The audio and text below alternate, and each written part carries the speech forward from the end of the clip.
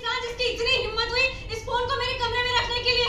कौन है बताओ? बुआ जी ताई जी माँ ईशान आयुष्मान। आलिया बेटा क्या हुआ? काय चिल्ला रही हो। बुआ जी इस घर में किसकी इतनी हिम्मत हो गई है कि मेरे कमरे में वहाँ पर एक छुपा कर रखा था फ़ोन? रिकॉर्डिंग ऑन करा। और, और मेरा सारा रिकॉर्डिंग कर लिया इसके अंदर।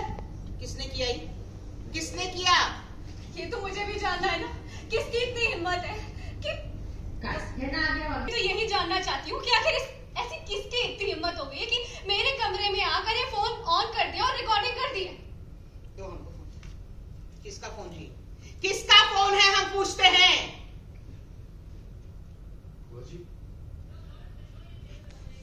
तो ईशान का ईशान देखो तो। होल्ड ट्रैक लुक ट्रैक से ट्रैक से ये तो ईशान का फ़ोन ट्रैक देखो। बैक डरो डरो ईशान डरो। देखो मम्मी को वो घूर रही है तुमको गुस्से में। कंटिन्यू उन्हें अपना फ़ोन आलिया के कमरे में क्यों रखा? था बताओ ईशान।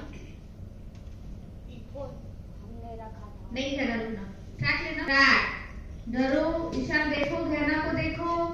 और ये सामने देखो भाई को कुछ बोलने जा रहे थे। और ये गहना तुमने बोला। वो ये ये फ़ोन हमने रखा था इसके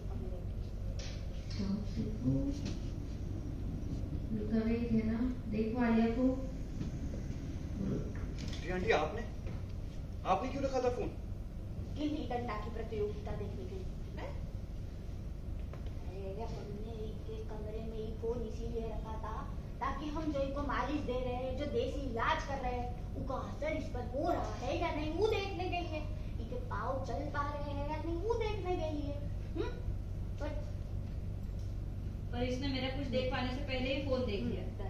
पिंटू कॉम्पैक्ट कर लो और टिल डाउन करो रोल किसी ने वो फ़ोन देख लिया। अब बता हमें कोई और इलाज करना होगा तो हम शुरू कैसे करेंगे?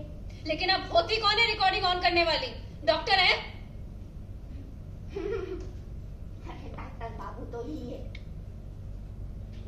इनको तुम्हारी वजह से ये भी डॉक्टर नहीं है। जी थोड़ा सा right- ही है ये इनको डॉक्टर नहीं। हम गुड्डी मौसी है। एक परिवार का सदस्य जैसे है हम। तो तू हमसे सवाल जवाब करना छोड़।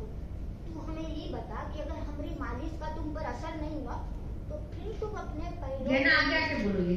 तू पहले